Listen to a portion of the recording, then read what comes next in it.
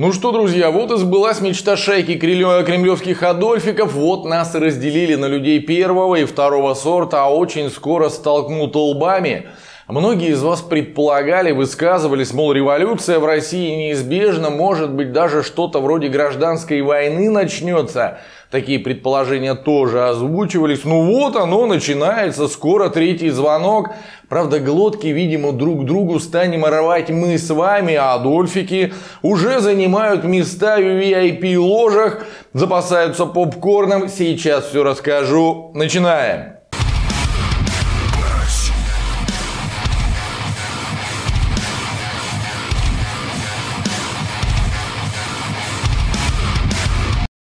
Вот эта вот третья волна коронавируса, она, вы знаете, стала очень показательной, хотя и последовательной. В первую нас запугивали. Вирус это страшно. Болваня в итоге поверил. Во вторую убеждали, дабы не заболеть, срочно нужно привиться. И даже какой-то шмурдяк на коленке по-быстрому сляпали. Причем не только в России, по всему миру. Теперь а вот видя, что народ не очень-то доверяет шмурдяку, вакцинироваться заставляют. Я не оговорился сейчас, вы сами знаете, что именно заставляют. Во всяком случае, в нашей стране, ну потому что добровольными началами он и назвать как минимум сложно, чтобы нам не врали с экранов телевизоров. У нас добровольная вакцинация против ковида. У нас закон об иммунопрофилактике, который не предусматривает обязательной вакцинации. А, поэтому здесь никаких изменений нет, но вокруг всякого громкого вопроса всегда много спекуляций. Я бы думала, что вот к этому так надо относиться. Спасибо. А хотите, я вам прямо сейчас предскажу, что будет в четвертую волну, а она обязательно случится через полгода, максимум год. Так вот, вангую. Четвертая волна начнется с того, что заболевать будут именно привитые, причем массово. Возможно, даже умирать люди начнут. И вот тогда сохраните этот ролик где-нибудь. Когда начнется, достаньте и пересмотрите. И вот тогда упыри начнут визжать во всех своих СМИ, что новую волну, гораздо более страшную, чем первые три, вызвали невакцинированные. В тот момент сосед пойдет на соседа, друг на друга, брат на брата. Ну, по крайней мере, конфликт возникнет. Давайте забьемся. Это реальная журналистика не хай-паради. Пожалуйста, досмотрите этот выпуск до конца, сделайте репосты. Покажите данное видео ватникам. Поехали!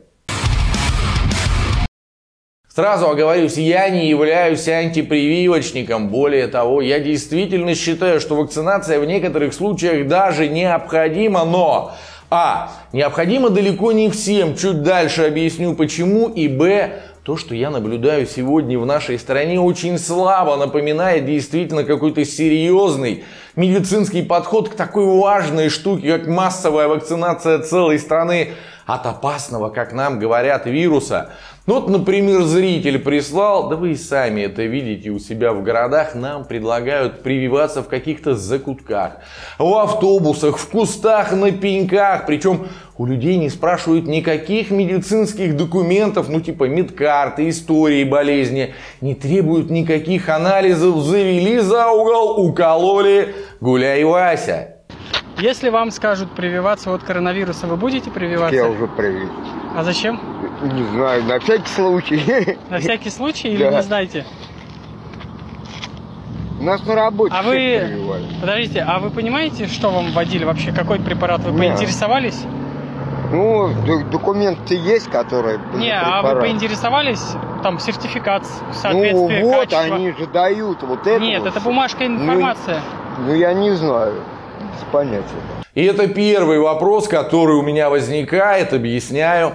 Дело в том, что совсем недавно травмировал руку. Безобидная, в общем, травма в плане дальнейшей жизнедеятельности, но встал вопрос о возможном медицинском вмешательстве об операции, то есть а возможно еще раз дали вот такую портянку со списком анализов, которые необходимо было пройти неделю, проходило. Это только для того, чтобы установить, нужна операция или нет.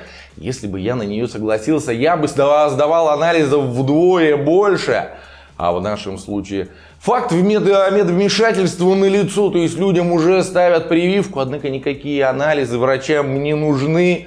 И даже медкарту приносить не обязательно. А если у человека непереносимость к каким-то компонентам, аллергия, еще что-то, пофигу. Поэтому у меня еще вопросы возникают. Оширяют нас точно врачи. Скажите, поставили прививку от коронавируса? Нет, не поставил.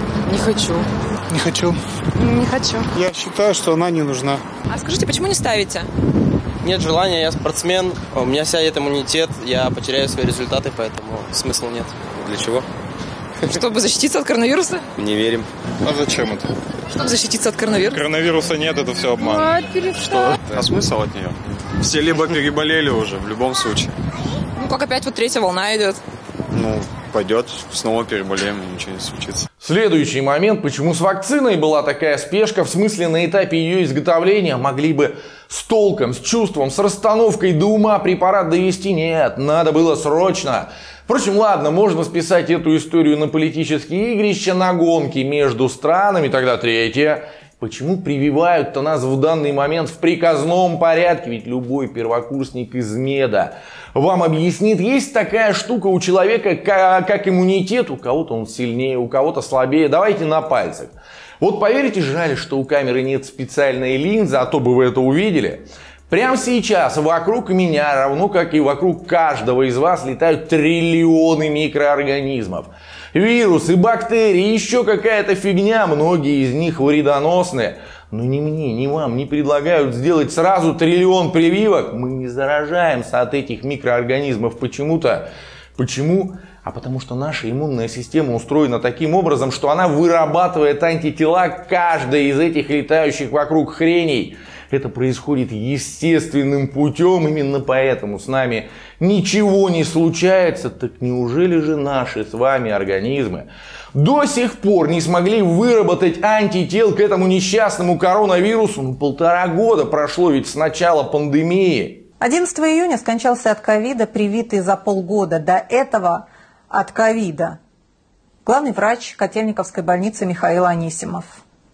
В декабре месяце он привился, об этом размещена информация на его социальных сетях, выложены фотографии. После он много агитировал за вакцинацию, э, но сам вот заболел и умер. То есть весь прошлый год э, он был на передовой, он сталкивался с ковидом каждый день и тем не менее был жив, здоров, вакцинировался, заболел, умер. А я вам отвечу, даже больше чем уверен, что у половины из нас эти самые тела появились за полтора года, поэтому и анализов перед уколом не берут. Но им зачем-то нужно нас уколоть, а вот теперь пугать стану.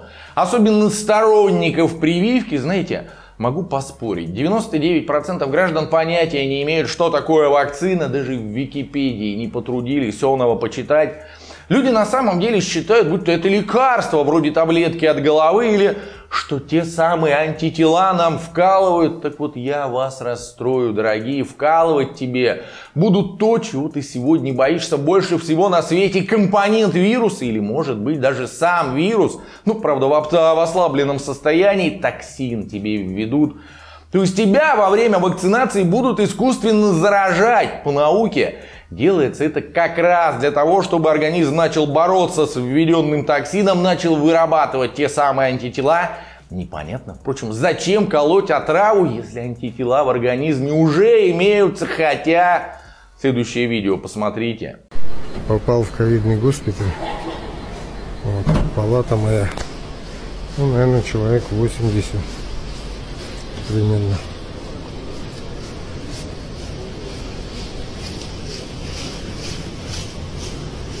На ВДНХ. Ну, у меня только 60 место. Получается, человек 60. Вот мое местечко.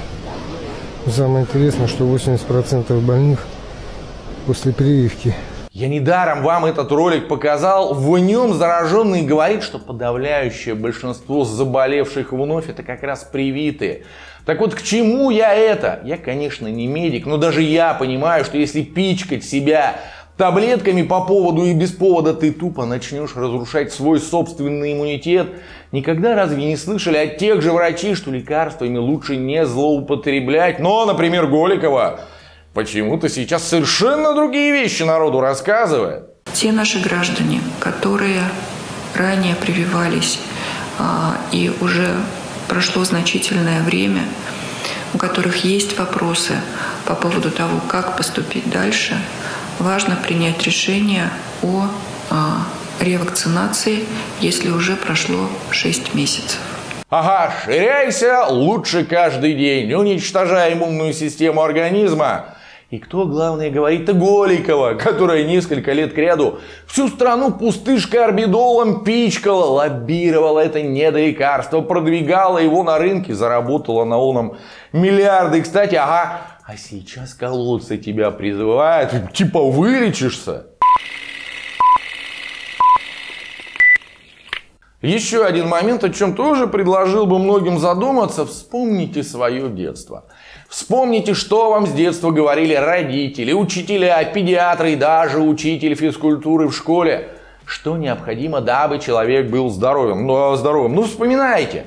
Больше двигаться, да? Если есть необходимость дойти куда-то пешком, дойди пешком. Если есть необходимость подняться по лестнице без лифта, поднимись ножками, правильно. Дышите свежим воздухом, говорили. Принимайте солнечные ванны, это очень важно было, каждый доктор. Еще недавно советовал хотя бы раз в год людям ездить к морю для здоровья. Оно хорошо, потому что, ну и правильно питайтесь. А как поступают с нами чиновники после начала пандемии? Да, закрывают в четырех стенах, максимально ограничивая возможность передвигаться. Не дают дышать воздухом. Вон Собянин в Москве все парки позакрывал, хорошо хоть окна заколотить не заставляет. Солнечный свет нам тоже, оказывается, не нужен, а жрите пальмовое масло. Все еще верите, что они нацию вылечить собираются? Ребят, я не сторонник теории заговоров, да и не вижу тут никакого заговора, я вижу обычный бизнес. Вот недавно об этом в ТикТоке говорил, подпишитесь, кто еще не подписан, ссылка внизу в описании. Ну так вот, мы входим в новую экономическую эпоху. Нефть сегодня уже не черное золото, вернее черное, но не золото. Запасов нефти добытых в данный момент столько, что безо всякой добычи углеводородов лет на 100 хватит. Металл, ну его тоже столько, сколько раньше не нужно. Выгляни в окно. Посмотри на свою машину. Вот у твоего дедушки она была железной, а твоя на 75% пластик. То есть тут тоже все понятно, да? Однако сильные мира сего, которые привыкли жить красиво, хотят и дальше жить красиво. Поэтому они решили зарабатывать на нас. Пандемия – суперовая вещь. Создавай вакцину, впаривай дураку миллиарды на кармане осядут. Или ты правда думаешь, что фармкомпании очень хотят, чтобы пандемия как можно скорее закончилась? Ага, прям как торговцы оружием мечтают о мире во всем мире. Господа, вы поймите, это война. Чем больше жертв на этой войне, тем больше заработают фармкомпании.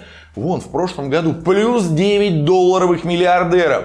Им не надо, чтобы мы выздоравливали. Им нужно, чтобы мы болели и умирали лучше миллионами. Они готовы ширять, ширять, ширять нас своими вакцинами, которые будут еще больше. Разрушать природный иммунитет бестолкового человека, обвинят, повторюсь, в том, что вы заболели – Кого-то, кто не привился, ну нужно же крайнего назначить. А продажные политики, ну они ведь недаром свой хлеб едят, расскажут вам еще и не такие сказки. Прививка – добровольное дело. Какое добровольное дело? Мобилизация в 41 году добровольное дело было? Когда всех, кто это, э, когда избегает мобилизации. Дезертиров расстреливали на ходу, паникеров расстреливали без суда и следствия. Шла война. А сегодня хуже – Немец подошел к Москве, а зараза по всей стране. Пойми, ты просто солдат на этой войне. Цифра. В графике нужной статистики мы для них еда, если хотите. Ты часто задумываешься о самочувствии, ну, например, батона колбасы? Все. Переваривайте. Это была реальная журналистика сегодня. Вот так. Пока-пока.